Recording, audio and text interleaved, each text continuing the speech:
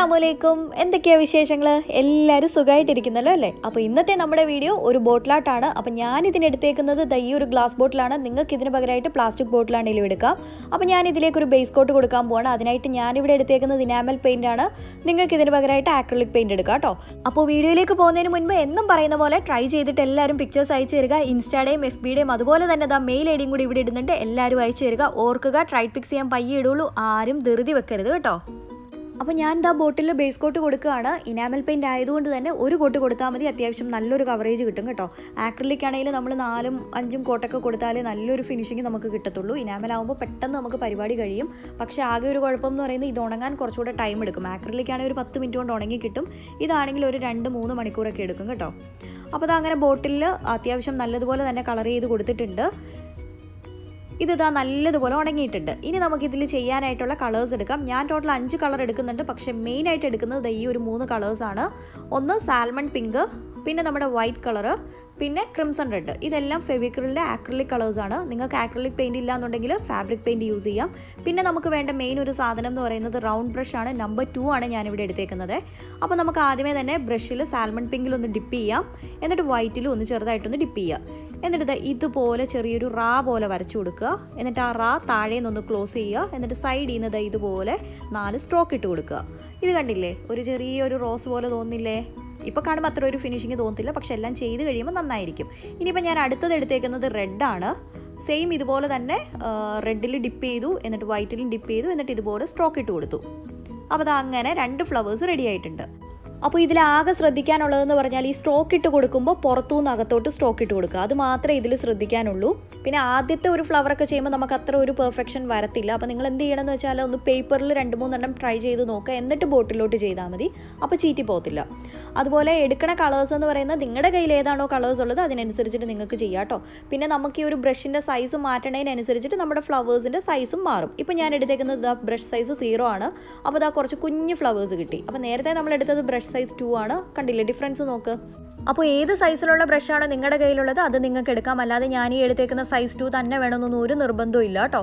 അതുപോലെ ഇപ്പോൾ നിങ്ങളുടെ കയ്യിൽ ഫ്ലാറ്റ് ബ്രഷ് ആണെന്നുണ്ടെങ്കിലും അതാണെങ്കിലും മതി. ഫ്ലാറ്റ് ബ്രഷ് ആണ് യൂസ് ചെയ്യുന്നതെങ്കിൽ നമ്മുടെ പെറ്റൽസ് എല്ലാം കുറച്ച് ഫ്ലാറ്റ് ആയിട്ടിരിക്കും. അത്രേ ഉള്ളൂ കേട്ടോ. പിന്നെ ഈ ഒരു സിംഗിൾ സ്റ്റോക്ക് എന്ന് പറയുന്ന സാധനം ഞാൻ കണ്ടുപിടിച്ചതൊന്നുമല്ല. പണ്ട് തൊട്ടേ വലിയ വലിയ പെയിന്റേഴ്സ് എല്ലാം ചെയ്യുന്ന ഒരു സംഭവമാണ്. ഒരുപാട് യൂട്യൂബ് ചാനലിൽ തന്നെ ഇതിന്റെ ഒരുപാട് ട്യൂട്ടോറിയൽസ് ഒക്കെ ഇട്ടിട്ടുണ്ട്. പലരും കണ്ടിട്ടുണ്ടാവും. ഒരുപാട് പേർക്ക് ഇത് അറിയാവുന്ന ഒരു ടെക്നിക്കുമാണ് അപ്പോൾ ഈ ഒരു സിംഗിൾ സ്റ്റോക്ക് വെച്ചിട്ട് നമുക്ക് ഒരുപാട് പെയിന്റിംഗ് ഒക്കെ ചെയ്യാൻ പറ്റും കേട്ടോ.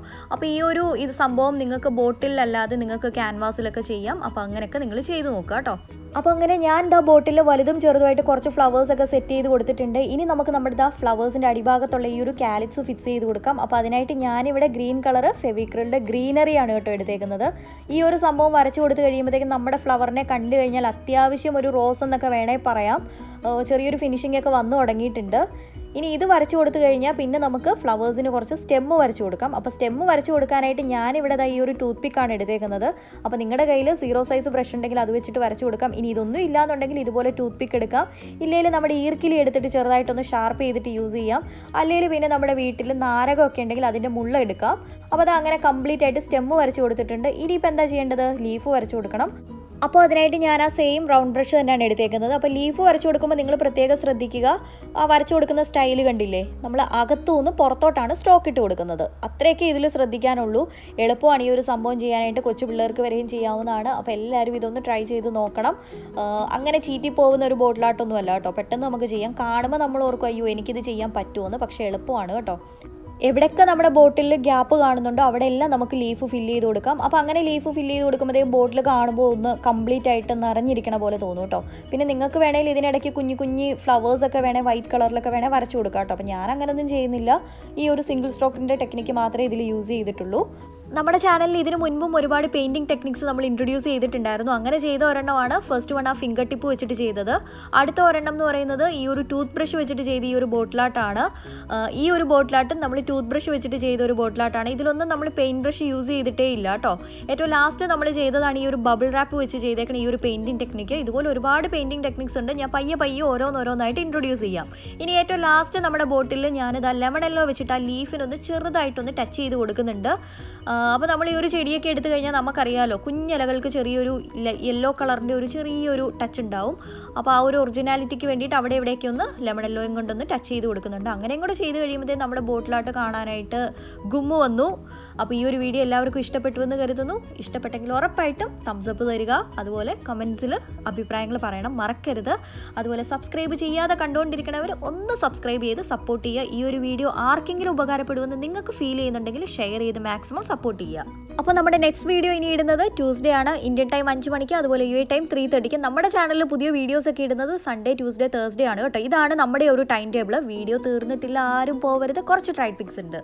അപ്പോൾ ഇന്ന് ടോട്ടൽ ഞാൻ അറുപത്തഞ്ച് ട്രൈഡ് പിക്സ് എടുത്തിട്ടുണ്ട്. എല്ലാം തന്നെ ഫേസ്ബുക്ക് പേജിൽ നിന്നാണ് എടുത്തേക്കുന്നത്. സെപ്റ്റംബർ ട്വന്റി തേർഡിനാണ് എനിക്ക് ലാസ്റ്റ് മെസ്സേജ് കിട്ടിയേക്കണം അവിടെ വരെയൊക്കെ ഉള്ളത് എടുത്തിട്ടുണ്ട് കേട്ടോ. അപ്പോൾ നിങ്ങൾ ഈ ട്രൈഡ് പിക്സ് അയച്ചു തരുമ്പോൾ നിങ്ങളുടെ പേരും പ്ലേസും തരിക. അതുപോലെ ട്രൈഡ് പിക്സ് അയച്ചു തരാൻ വേണ്ടിയിട്ട് നമ്മുടെ ഫേസ്ബുക്ക് പേജ് എടുക്കുമ്പോൾ ലൈക്ക് ചെയ്യാൻ മറക്കരുത്. അതുപോലെ നമ്മുടെ ഇൻസ്റ്റാഗ്രാം ഒന്ന് ഫോളോ ചെയ്യാനും മറക്കരുത്. ട്രൈഡ് പിക്സ് അയച്ചു തരുന്നവർ പ്രത്യേകം ഒരു കാര്യം ഓർക്കുക. ഞാൻ ട്രൈഡ് പിക്സ് പയ്യെ പയ്യെ വീഡിയോസിൽ ഇൻക്ലൂഡ് ചെയ്യുള്ളൂ. നിങ്ങൾ ധൃതി വെക്കരുത് കേട്ടോ. നിങ്ങൾ ഈ അയച്ചു തരണം അതുപോലല്ലല്ലോ നമ്മൾ വീഡിയോസിൽ ഇടുന്നത്. പിക്ചേഴ്സ് എല്ലാം എഡിറ്റ് ചെയ്യണം. നമ്മുടെ ആ ഒരു യൂട്യൂബിന്റെ റേഷ്യോയിലൊക്കെ ആക്കണം. അപ്പോൾ കുറച്ച് പരിപാടി ഇതിന്റെ പുറകിലുണ്ട്. പിന്നെ നമ്മുടെ ഒരു മെയിൻ പ്രയോറിറ്റി എന്ന് പറയുന്നത് നല്ല വീഡിയോസ് ഷൂട്ട് ചെയ്യുക എഡിറ്റ് ചെയ്യുക നല്ല രീതിയിൽ അത് പ്രസന്റ് ചെയ്യുക അതിന്റെ കൂട്ടത്തിൽ ട്രൈഡ് പിക്സ് ഇടുക. എല്ലാവരുടെയും ട്രൈഡ് പിക്സ് ഇടും. ആരും വിഷമിക്കൊന്നും വേണ്ട. പയ്യെ പയ്യെ ഇടുക കേട്ടോ. പിന്നെ റീസെന്റ് ആയിട്ട് നമുക്ക് കുറച്ച് കമൻസ് വരുന്നുണ്ട്. ഞാൻ ട്രൈഡ് പിക്സ് അയച്ചിട്ട് രണ്ട് ദിവസമായി ഇതുവരെ എന്റെ ഇട്ടില്ല. പിന്നെ കുറച്ച് ആളുകൾ കമന്റ് ചെയ്യാറുണ്ട്. ഞാൻ ട്രെഡ് പിക്സ് അയച്ചിട്ട് വൺ മന്തായി ഇതുവരെ ഇട്ടില്ല. അതുകൊണ്ട് നിങ്ങളുടെ ചാനൽ അൺസബ്സ്ക്രൈബ് ചെയ്യുകയാണ്. നിങ്ങളുടെ വീഡിയോസ് എല്ലാം ഡിസ്ലൈക്ക് ചെയ്യുകയാണെന്ന് അങ്ങനെയുള്ള കമൻസ് ഒക്കെ കാണുമ്പോൾ ശരിക്കും പറഞ്ഞാൽ ഭയങ്കര വിഷമാണ് കേട്ടോ. അപ്പോൾ ഇതാണ് റീസൺ നമുക്ക് ഒരു ദിവസം മോർ ദാൻ നൂറ് മെസ്സേജിൽ കൂടുതലൊക്കെ വരുന്നുണ്ട്. അപ്പോൾ എല്ലാ മെസ്സേജും ഒക്കെ നോക്കുക എന്ന് പറയുന്നത് പോസിബിളേ അല്ല. ഞാൻ നോക്കാറേ ഇല്ല. ഞാൻ ട്രൈഡ് പിക്സ് എപ്പോഴാണോ എടുക്കാൻ പോകുന്നത് അപ്പോൾ മാത്രമാണ് ഇൻസ്റ്റയിലെയും എഫ് പിയിലെയും മെസ്സേജസ് നോക്കുന്നത്. ഞാനങ്ങനെ ഡെയിലി ഇൻസ്റ്റാ മെസ്സേജസ് ഒന്നും നോക്കുന്ന ആളല്ല കേട്ടോ. ഡെയിലി ഞാൻ യൂട്യൂബിലെ കമൻസ് നോക്കും.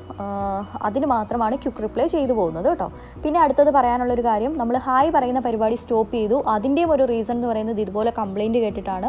കുറേ ആളുകൾ വന്നിട്ട് കമന്റ് ചെയ്യാറുണ്ട്. ഒരുപാട് നാളായി ഹായ് പറയാൻ പറയുന്നു. അതുകൊണ്ട് നിങ്ങൾ ഇതുവരെയും പറഞ്ഞില്ല. വേറെ ചാനലുകളൊക്കെ പറയുന്നുണ്ട്. അതുകൊണ്ട് നിങ്ങളുടെ ചാനൽ അൺസബ്സ്ക്രൈബ് ചെയ്യുകയാണെന്ന്. അങ്ങനെയുള്ള കമൻസിനൊന്നും ഞാനിപ്പോൾ റിപ്ലൈ കൊടുക്കാറില്ല. കാരണം അതിന്റെ ആവശ്യമില്ല എന്ന് എനിക്ക് തോന്നുന്നു.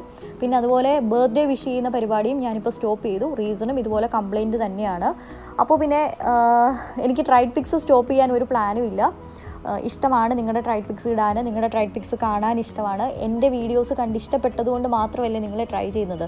അപ്പോൾ അതുകൊണ്ട് അത് എനിക്ക് എന്റെ വീഡിയോസിൽ കാണിക്കാൻ ഇഷ്ടമാണ് കേട്ടോ. അപ്പോൾ അതെനിക്ക് സ്റ്റോപ്പ് ചെയ്യാൻ പ്ലാൻ ഇല്ല. അപ്പോൾ ഞാൻ ഇത്രയൊക്കെ പറഞ്ഞത് കുറേ ആളുകൾ ഇങ്ങനെയുള്ള കമൻസ് ഒക്കെ ഇടുമ്പോൾ നമുക്ക് കുറച്ച് വിഷമമാണ്. ഞാൻ പറയുന്നത് കൊണ്ട് നിങ്ങൾക്ക് ദേഷ്യമൊന്നും തോന്നരുത്. ഞാനങ്ങ് പറഞ്ഞതാണ് കേട്ടോ. അപ്പോൾ ഇത്രയൊക്കെയാണ് മെയിനായിട്ട് പറയാനുള്ള കാര്യങ്ങൾ അപ്പോൾ ട്രൈ ട്രൈ ചെയ്തിട്ട് എല്ലാവരും പിക്ചർ അയച്ചു തരിക. പയ്യെ പയ്യെ ഇടാം. ധൃതി വെക്കരുത് കേട്ടോ. അപ്പോൾ നമുക്കിനി ഇൻഷാല്ല ട്യൂസ്ഡേ കാണാം. ഒരുപാട് വാചകം അടിച്ച് ഓവറാക്കി. ട്യൂസ്ഡേ നമുക്ക് ഇന്ത്യൻ ടൈം അഞ്ച് മണിക്ക് അല്ലെങ്കിൽ യു എ ടൈം ത്രീ തേർട്ടിക്ക്.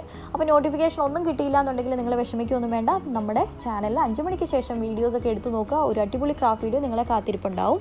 അതുപോലെ നമ്മളിപ്പോൾ സപ്പോസ് ഒരു ദിവസം വീഡിയോ പബ്ലിഷ് ചെയ്യുന്നില്ല എന്നുണ്ടെങ്കിൽ ഞാനത് കമ്മ്യൂണിറ്റി ടാബിൽ പബ്ലിഷ് ചെയ്യാം. അപ്പോൾ നിങ്ങൾ നോക്കിയിരിക്കേണ്ട ആവശ്യമില്ല. നിങ്ങൾക്ക് നേരത്തെ തന്നെ അറിയാൻ പറ്റുമല്ലോ. അപ്പോൾ ഇത്രയൊക്കെയാണ് പറയാനുള്ളത്. അപ്പോൾ നമുക്ക് ട്യൂസ്ഡേ കാണാം. അതുവരെ എല്ലാവർക്കും ബൈ ബൈ അസ്സാം വലൈക്കും happy crafting. Love you all. Take care. Keep smiling.